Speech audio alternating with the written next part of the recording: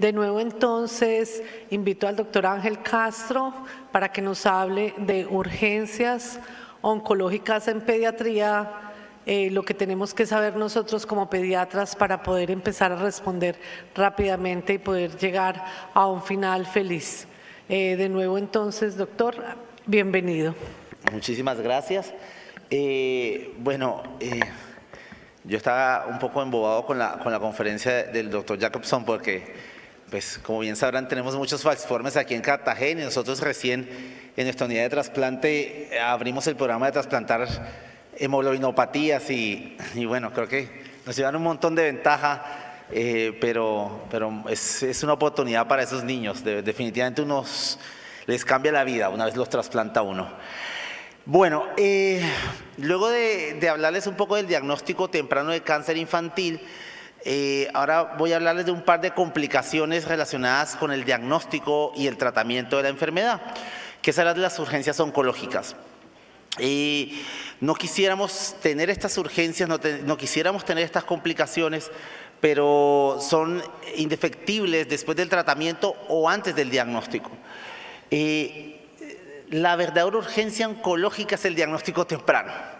O sea, definitivamente esa es la urgencia más importante que diagnostiquen a los niños de manera temprana o por lo menos lo sospechen. Y eso nos evitaría un par de las complicaciones que vamos a ver eh, ahora en la conferencia. Eh, la primera complicación de la que les voy a hablar es una complicación relacionada con el tratamiento y es la neutropenia febril. Y aquí es importante dejar claro algunos conceptos y definir neutropenia febril entendiendo que es un episodio de fiebre en un niño que recibió quimioterapia o radioterapia pero que no tiene un foco clínico aparente. Y es bien importante distinguir esto, distinguir un niño que tenga neumonía y neutropenia, o fiebre, o diarrea y neutropenia, o que tenga infección en piel y neutropenia, porque el enfoque clínico es distinto. El niño con neutropenia febril no tiene un foco clínico aparente de infección y por eso el abordaje debe ser realmente más agresivo.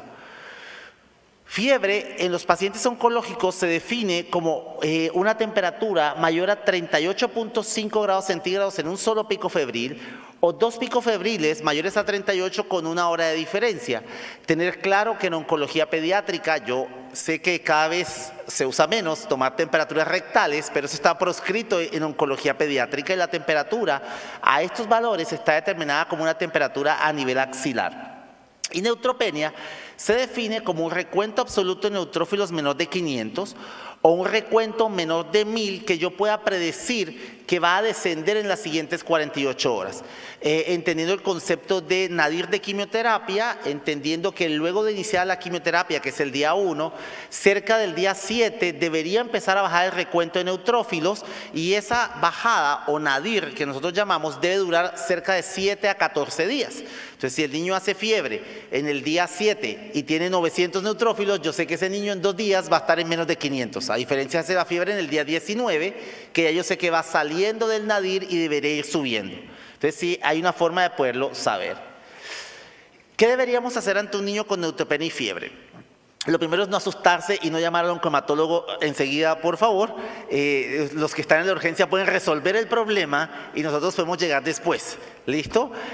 Lo primero es tomar los laboratorios. ¿Listo? ¿Qué laboratorios necesitan? Hemograma, extendido de sangre periférica, función renal, función hepática, electrolitos y PCR como reactante de fase aguda. Estos son los laboratorios estándar que de hecho están recomendados en el último consenso latinoamericano para manejo de neutropenia y fiebre, niños con cáncer y trasplante de médula ósea. Esto debería ser como un paquete estándar en todos los niños con neutropenia y fiebre. ¿Listo? Eso va en el combo 1 de estos niños. Y otros laboratorios que son importantes son los cultivos, al menos dos hemocultivos. Cerca del 25% de los niños con neutropenia y fiebre podemos tener algún rescate microbiológico y eso cambia la conducta terapéutica. Los, los, cultivos deberían tomarse, si tiene un catéter venoso central, un cultivo de cada luz del catéter. Si es un catéter implantable, será un solo cultivo. Si es un catéter no implantable, bilumen o trilumen, un cultivo de cada luz del catéter. Y además un cultivo de sangre periférica. Si el niño no tiene catéter, deberíamos tomar dos cultivos o dos hemocultivos de sangre periférica. La radiografía de tórax solo debería tomarse, a pesar, perdón, a pesar de que tiene un rendimiento muy bajo, si el niño tiene síntomas respiratorios. Si no tiene síntomas respiratorios al momento de consultar, no deberíamos tomar radiografía de tórax. Y otros laboratorios importantes es hacer coprocultivo y medir toxina para Clostridium si el niño debuta con deposiciones diarreicas Urocultivo debería ser rutinario en todos los pacientes con neutropenia y fiebre, porque al estar neutropénicos las manifestaciones clínicas de una infección de vías urinarias son casi nulas eh, y la posibilidad de tener una infección de vías urinarias es cerca del 7%. Y si es posible en los centros donde ustedes trabajan, tomar estudios moleculares de PCR o film array para cualquier secreción que tenga el paciente. Podemos hacer film array para panel respiratorio, film array para neumonía. Si tiene diarrea, podemos hacer film array de un panel gastrointestinal, con el cual tenemos resultados en menos de seis horas y tiene una amplia gama de detección de microorganismos, bacterias, virus, hongos, y es el ideal para estos pacientes. ¿Cuáles son los factores de riesgo para que un niño se complique en un episodio de neutropenia y fiebre? Y aquí es importante saber para qué son los factores de riesgo. Hay factores de riesgo para infección bacteriana invasora, hay factores de riesgo para sepsis y factores de riesgo para mortalidad. Entonces es importante, dependiendo de lo que más suceda en el centro donde ustedes trabajan, saber cuáles son los laboratorios o lo que deben buscar la historia clínica para saber si ese niño tiene riesgo de tener una infección bacteriana invasora o de morirse y, llevarlo rápidamente a terapia intensiva. Y hay algunas variables demográficas, definitivamente los adolescentes son una bomba de tiempo y aquí voy a dar como un tip con los adolescentes que están en neutropenia y fiebre. Adolescente con neutropenia y fiebre que esté hipotenso, no importa que hable, salte, brinque o se ponga bravo, tiene que ir a terapia intensiva. ¿Listo? Los adolescentes, como los adolescentes que no tienen cáncer, están primero muertos que sencillos. O sea, no, no se hacen ver mal. ¿Listo? Entonces, ojo, adolescente con neutropenia y fiebre que tenga hipotensión tiene que ir a terapia intensiva, no importa que se vea bien. Eh, el tipo de cáncer es importante, definitivamente leucemia tiene mayor riesgo de infección bacteriana invasora si la enfermedad está en la inducción, que es el primer mes de tratamiento, si es una recaída o un segundo tumor, porque en general usamos quimioterapia mucho más mieloablativa, o si la neutropenia va a durar más de siete días. Si el niño hace fiebre en el día 7, yo sé que va a tener una aplasia muy prolongada, así que el tiempo de riesgo de infección o complicaciones va a ser mayor. Algunas variables clínicas, como que llegue con compromiso respiratorio o que tenga una fiebre mayor a 39 grados centígrados.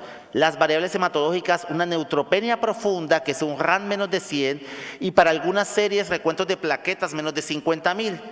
Y los biomarcadores, de los cuales vamos a dar un poquito más adelante, PCR mayor de 90 está relacionada con infección, infección bacteriana invasora e interleuquina 8 mayor de 300.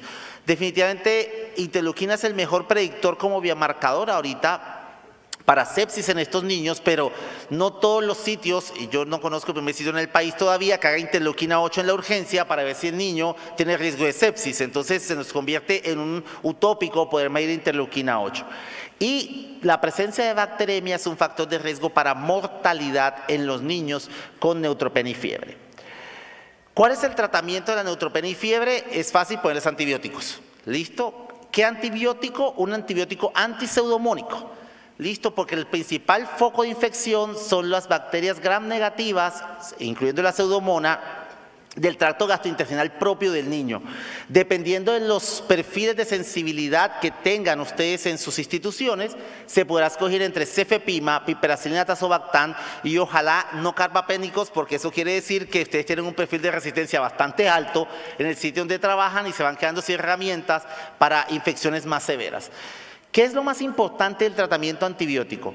Que debe comenzar antes de la primera hora desde que el niño le da fiebre. Y eso es muy importante, es muy importante porque eso aumenta la mortalidad. A veces pasa que llegan los niños, entonces toca primero convencer a los papás para que acudan a la urgencia, sobre todo si son adolescentes que nunca quieren ir, pero cuando llegan a la urgencia a veces también tenemos un poco de responsabilidad. Yo sé que todos los niños son importantes y que todos tienen eh, igual, digamos, condición para atenderse, pero este niño tiene más riesgo. Entonces, este es pasarlo rápidamente a la aplicación del medicamento. Pero ¿qué es lo que realmente Pasa en otras condiciones. Si el niño llega estable, monoterapia con antipseudomónicos. Pero si el niño llega con signos de sepsis o choque séptico, deberíamos usar de entrada un carbapen asociando a otro, eh, a otro antibiótico para cubrimiento de gram negativos y asociarle vancomicina. Siempre que el niño llegue en sepsis o en choque séptico es carbapénico más vancomicina porque ese niño tiene un alto riesgo de complicaciones y de muerte. Y si el niño está estable y tiene antecedentes de algunos episodios infecciosos está colonizado por alguna bacteria eh, gram negativa resistente, la terapia antibiótica debería ser específica para estos niños. ¿Qué es lo que pasa en la vida real? Y ahí es donde los oncomatólogos nos vamos quedando calvos de tanto coger rabia cuando los niños llegan a la urgencia y sufrimos muchísimo. ¿sí? La calvicie no es ni por la quimioterapia, nada es por coger rabias todo el tiempo desde que hacemos el fellow de oncomatología pediátrica. ¿sí?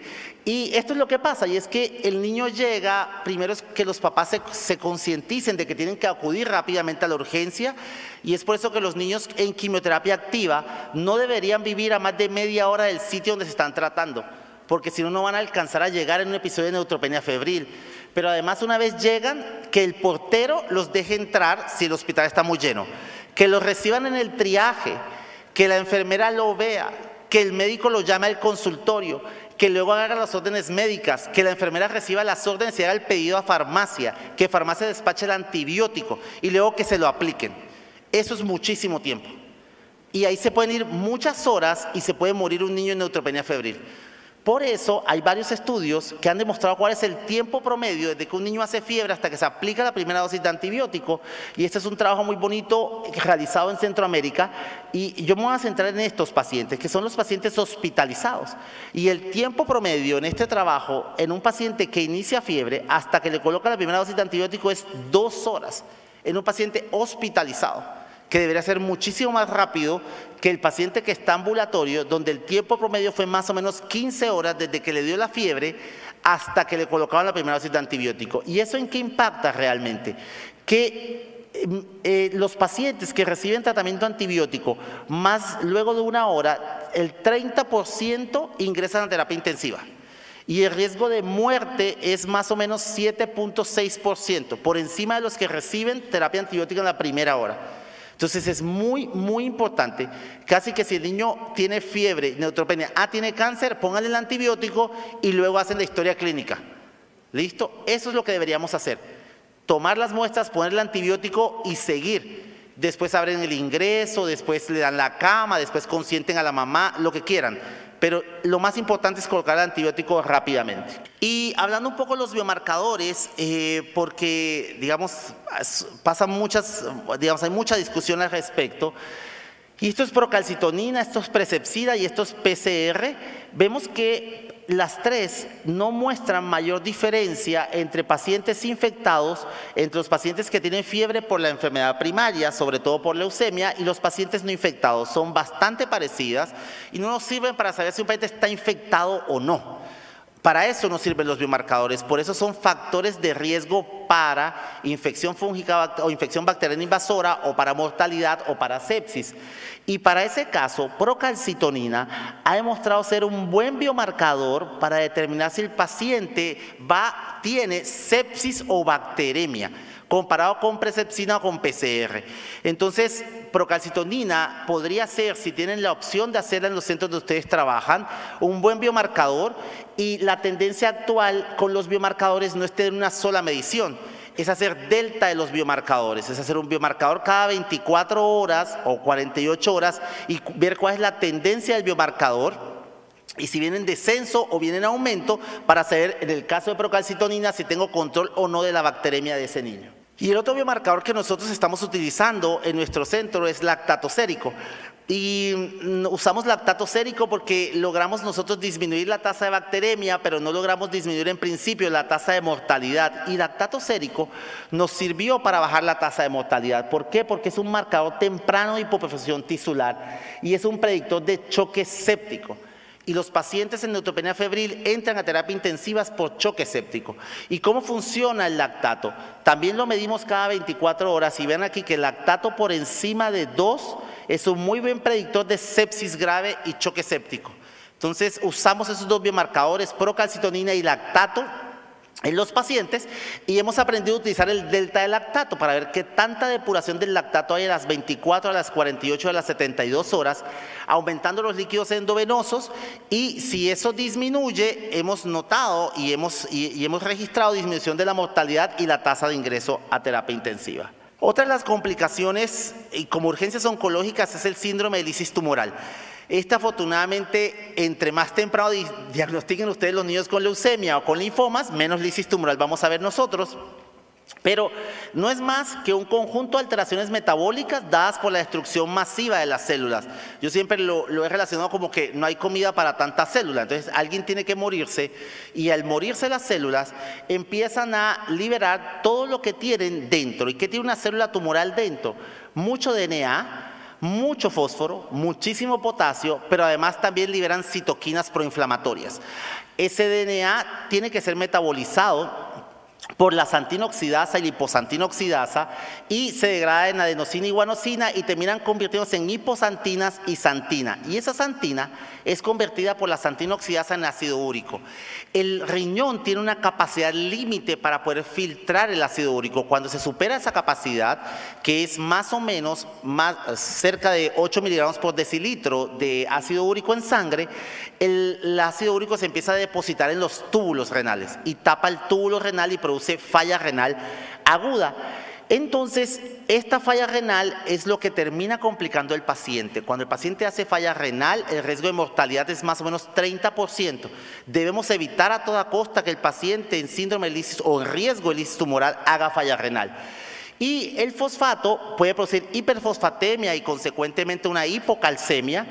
La hipercalemia puede llegar a una arritmia cardíaca y la liberación de citoquinas produce un fenómeno inflamatorio, sobre todo a nivel renal, lo que hace, acentúa mucho más eh, la falla renal aguda.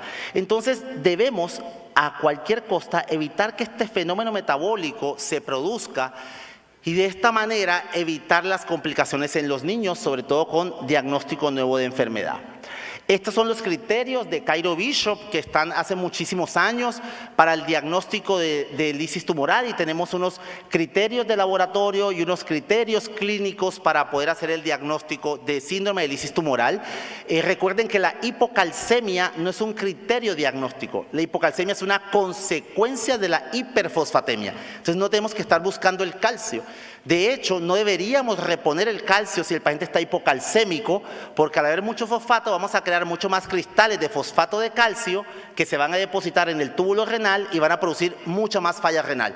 ¿Listo? Entonces, ojo que es hiperuricemia, hiperfosfatemia e hipercalemia lo que tenemos que buscar básicamente en los niños con lisis tumoral. ¿Y cómo clasificar el riesgo? Diagnosticar la lisis tumoral como lisis es fácil porque el niño ya está en falla renal o está convulsionando o tiene una arritmia. Esa estuvo facilita. Lo realmente complejo es clasificar el riesgo de lisis tumoral. Y ahí es donde deberíamos enfocarnos, evitar que el niño llegue a ser un síndrome de lisis tumoral manifiesto. Y esto lo podemos intentar en tres pasos. Lo que, pasa de lo que tiene más de tres pasos ya es difícil. Entonces esto en tres pasos es bien fácil. ¿Listo? El primero es la enfermedad.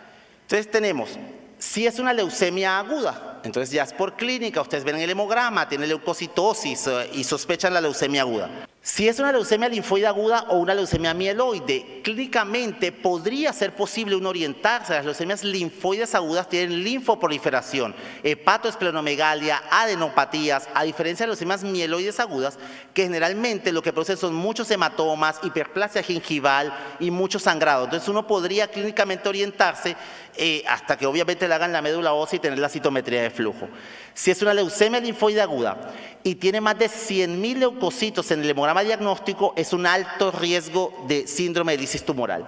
Si tiene entre 25.000 y 100.000 leucocitos, es un riesgo intermedio. Y si tiene menos de 25.000 leucocitos, depende del paso 2. Y si es una leucemia mieloide aguda, si tiene más de 100.000 leucocitos es alto riesgo y tiene menos de 100.000 leucocitos, depende también del paso 2. El otro grupo de enfermedades que puede producir síndrome de lisis tumoral en pediatría de manera más frecuente son los linfomas no Hodgkin y de esos los que crecen más rápido son el linfoma de Burkitt y el linfoma linfoblástico. ¿Cómo los puedo diferenciar clínicamente un poco? Normalmente o frecuentemente el linfoma de Burkitt es un linfoma abdominal con una característica clínica y es que el linfoma crece muy rápido y los cuidadores dicen que el niño estaba bien hace una semana y de una semana para acá empezó a, a ponerse mal, a complicarse y vemos una masa muy grande que realmente ha crecido muy poco tiempo. Todos los linfomas de Burkitt son alto riesgo.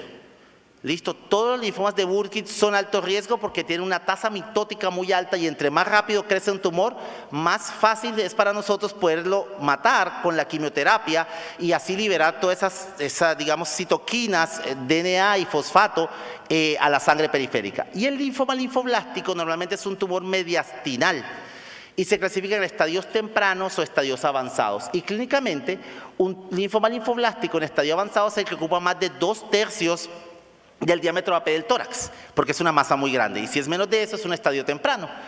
Y si es avanzado, es alto riesgo, y si es temprano, depende del paso 2. Y el paso 2 es la LDH. Listo, la deshidrogenasa láctica es un marcador de la tasa de replicación celular.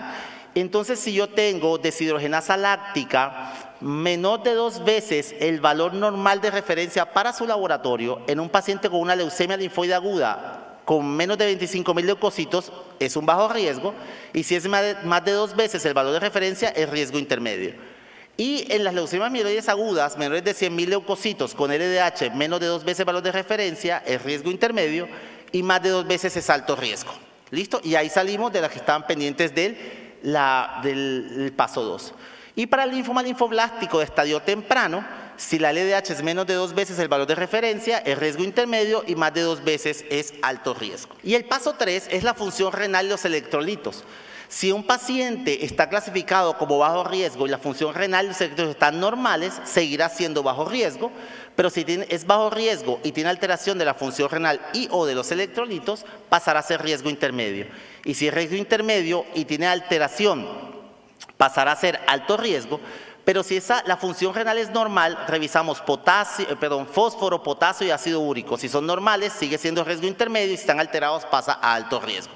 Entonces, la enfermedad, la LDH, la función renal y los electrolitos, y con eso seremos capaces de poder clasificar el riesgo de lisis tumoral de nuestros niños.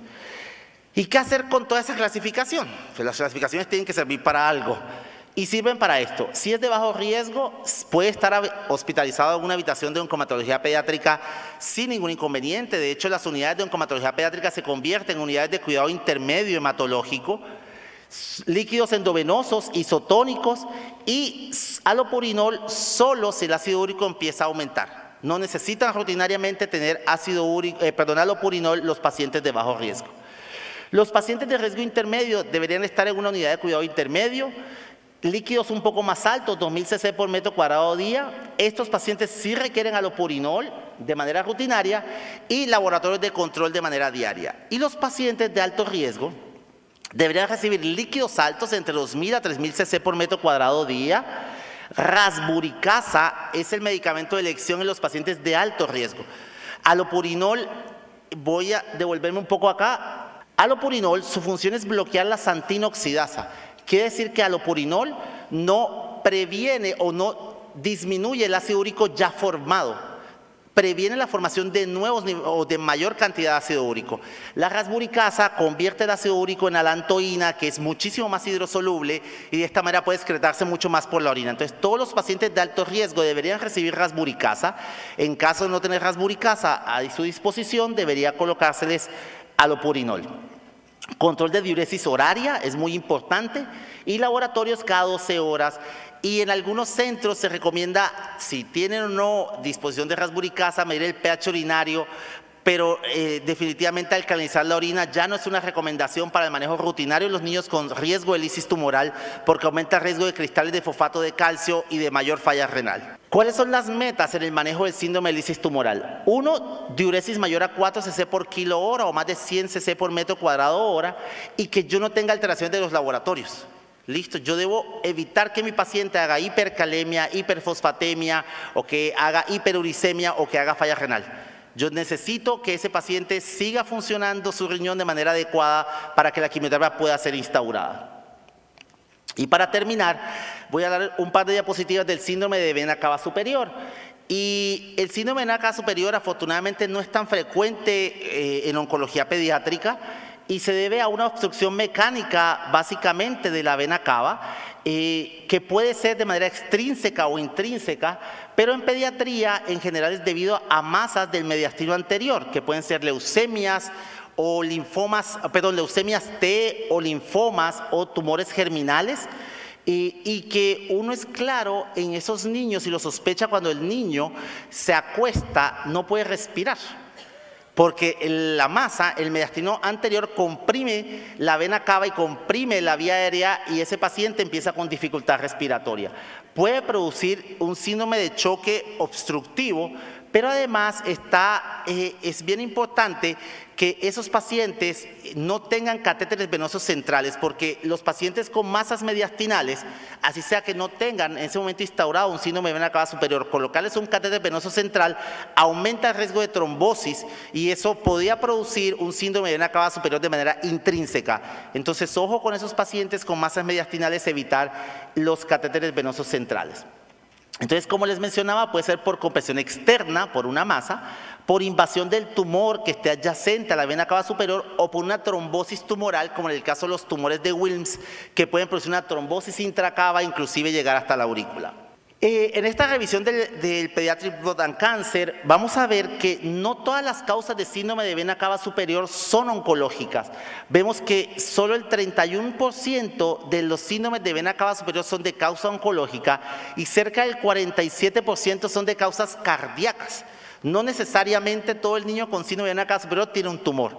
Y ahí es bien importante entonces, que eh, ustedes puedan discriminar realmente si es oncológico o no para poder hacer el enfoque adecuado de ese paciente. Y dentro de las causas oncológicas vemos que las manifestaciones en cabeza y cuello son las más importantes. Cerca del 82% de los niños se manifiestan con edema del cuello, ingurgitación yugular, dilatación de las venas en el cuello y es un signo que deberíamos eh, ver frecuentemente y buscar frecuentemente en estos niños. Y estas dos tablas, ya les juro que voy a terminar, son para mostrarles que podemos clasificar los signos y síntomas en cuatro grupos, neurológicos, los relacionados con la laringe y la faringe, faciales y los relacionados con la pared torácica. Y es importante tener claro que puede haber todas estas manifestaciones porque el grado de severidad del síndrome de acá superior es distinto y eso va a determinar con qué tanta rapidez yo debería trabajar en mi paciente a decidir colocar terapia de urgencia, sobre todo si es quimioterapia.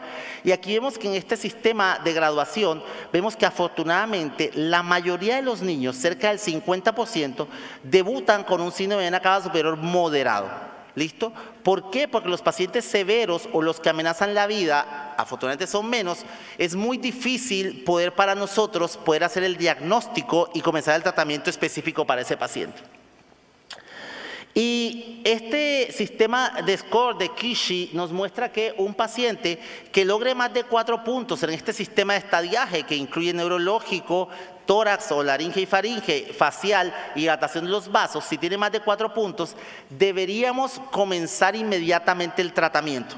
Y el tratamiento si es oncológico es utilizar quimioterapia, citorreducción o hacer radioterapia o si es un tumor germinal, inclusive pensar en una cirugía de descompresión torácica pero lo más importante fuera de esto es que deberíamos rápidamente conseguir una biopsia.